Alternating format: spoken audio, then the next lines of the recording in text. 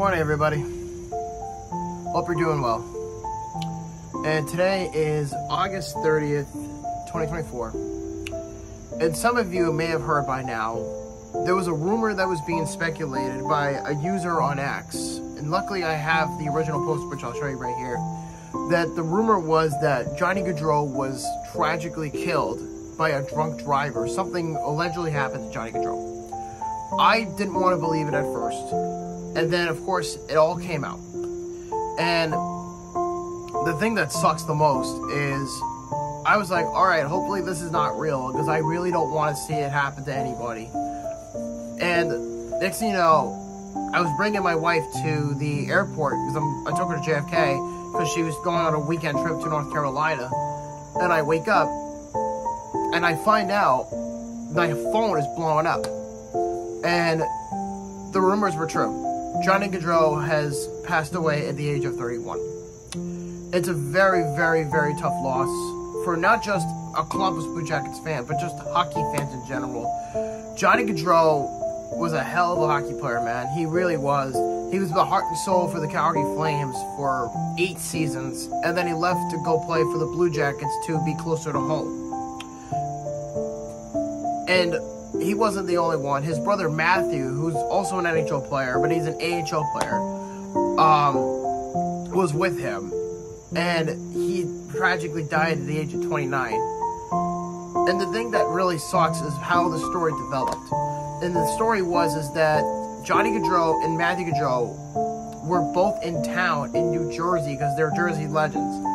Um, they were both there for their sister's wedding, which was supposed to happen today literally the night before, the, literally the night before, before the wedding. It's sad because it's hard to think that you're about to see the, your sister have the happiest day of her life, and then within just 24 hours, an irresponsible, an irresponsible scumbag decides to drunk drive and kill somebody. If you're driving under the influence, let this story be a lesson to you. Don't drink and drive. Don't drink and drive. You're putting not only yourself in danger, but others. And this past weekend was just a perfect example of that. Johnny Gaudreau was literally in town and he was just ready to watch his sister have the best day of her life. She was supposed to get married today, and unfortunately, a scumbag who had to be driving under the influence had to get behind the wheel, hit Matthew and Johnny from behind, and killed them both. And they had fatal injuries too. And they found the culprit as well. So thankfully, they found him pretty quickly. And he's probably going to end up spending the rest of his life in prison for the murder of two men. And the thing that sucks about this whole ordeal with Johnny Gaudreau was I know things have been very rough for Johnny Gaudreau as far as his time in Columbus. He had one of the worst contracts, but his team was getting better. He was, and he was supposed to be the face of the franchise. He was the the big superstar that Blue Jackets fans have been asking for for many many years, and now it just got taken away from them. It's really sad when you think about it. It, it, it truly does. I don't wish death on anybody, not even my own worst enemies. But I can even tell you that it's got to be rough if you're if you're the Gaudreau family. You had a big day, you know, a wedding coming up for your sister, and then your life gets taken within 18 hours. That's tough. That's very, very tough. I can't imagine that. I can't. Riding your bike in the middle of a suburban area in Jersey, and then you have a drunk driver literally end your life. You and your brother.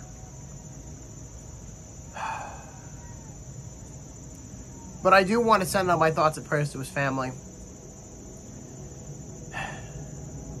It's it, it's such a tough video to talk about this too because even though he's not on my team, he's a hell of a hockey player. And I met Johnny 10 years ago when he was a rookie. If you want to see the picture, it's right here. I met him when he was just 21, 22 years old. And now, 10 years later, he, he's no longer with us. It's very, very tough for the hockey community to swallow this. It really is.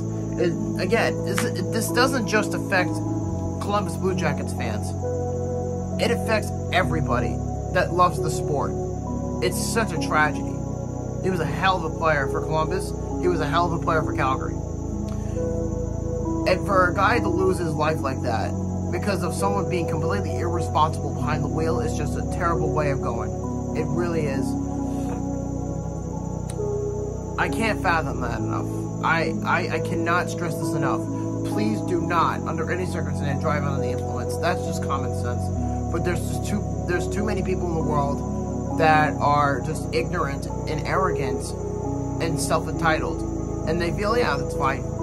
Meanwhile, you kill two professional occupiers. This is really really tragic.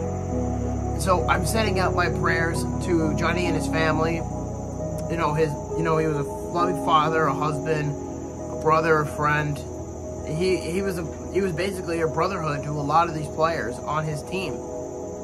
He was a leader too. I mean, it's such a tragedy. It really is. And I hope we never have to see anything like this again. I really hope not. But you gotta, guys, you gotta be safe.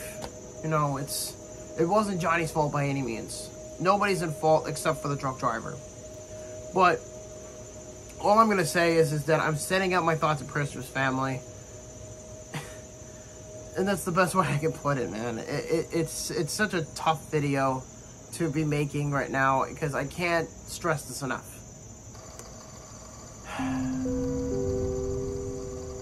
It's gonna be rough. I don't know how the Jackets are gonna recover from this. I really don't. I, I, the fact that this has already been now the second player in like five years that the Jackets have lost players in terms of death, not just by trades or whatever, but like within tragedy. It's really sad. I don't wish that on anybody. I, I really don't. And the fact that that we're not going to see Johnny Gaudreau ever again is just really tragic. So I got to tell you, he was a hell of a player for sure. I always liked watching Johnny Gaudreau. But it's the fact that that there were fans that, that put their time and effort into Johnny Gaudreau is, is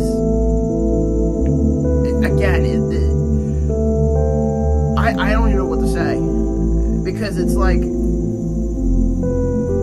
it's almost to a point where you look forward to watching him, and then in one fell swoop, he's gone. He's gone forever. There's no going back. And I, and again, I'm sending my prayers to the Gaudreau family, to his, you know, his parents, his sister, his wife, his children. So, guys, I know today is going to be very tough. I know that it's, it's hard not to think about this, but we have to remain strong, as not only just as, you know, fans of the game, but for everybody.